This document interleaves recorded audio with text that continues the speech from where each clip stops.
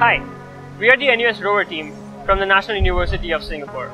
We are a team of 30 students developing New Opportunity, our first Mars rover, and this is our maiden attempt at URC. The project development is divided across eight subsystems, which are mobility, chassis, robot arm, power systems, communications, onboard computer, science payload, and base station. These subsystems were identified to optimize our engineering effort. Our mechanical team consists of three sub-teams, namely chassis, robotic arm, and mobility system. Our chassis focuses on integrating the mobility system, electricity system, and its electronics. Single layer of chassis was designed with modularity in mind, which allows exchangeable loads to be loaded for different missions and ensures good weight distribution. All of the components on the chassis are optimized materially to reduce weight yet providing ample strength, such as utilizing 3mm thick carbon fiber base plate, carbon fiber tubes for both supporting rods and the camera mast. Our robotic arm consists of 6 degrees of freedom and a total working length of 1.2 meters. For 6 degrees of freedom, the team has decided to proceed with harmonic drive and also a direct drive system which eliminates other mechanical components such as belt or chain transmission system, which improves the backlash and accuracy of the robotic arm during operation. Mobility System has adopted 6-wheel rocker bogie system for the rover. Rocker bogie system allows stability by maintaining parallel chassis at any point in time at any given terrain.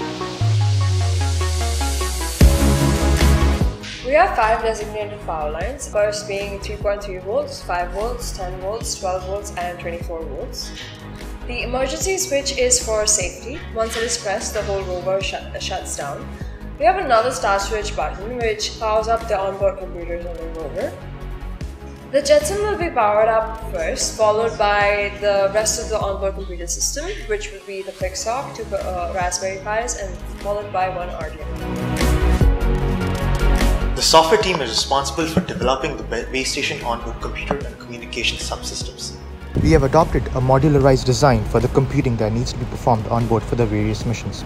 We use a star network configuration of microcomputers such as the Raspberry Pis and VASCs on board for the control of the rover subsystems. Our primary computing unit is the NVIDIA Jetson TK1. We have also developed a base station application front end on Linux using JavaScript which will be run remotely on a laptop to command the individual elements of the rover. Our base station is capable of communicating with the rover within a 2 km range using long-range Wi-Fi. For the retrieval mission, we employ three Intel RealSense D435 RGBD cameras that give us a 270 degree field of view of the surroundings for teleoperative control.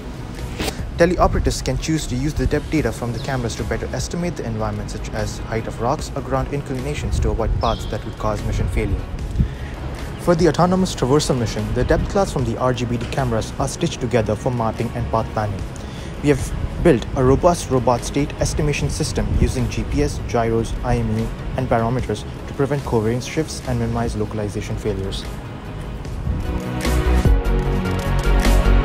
The science payload is subdivided into two segments, the sample extraction unit as well as the sample analysis unit. Samples are first loaded into the sample extraction unit for biomolecule extraction, after which the soils extract is transferred into the sample analysis unit to be assayed for various biomolecules.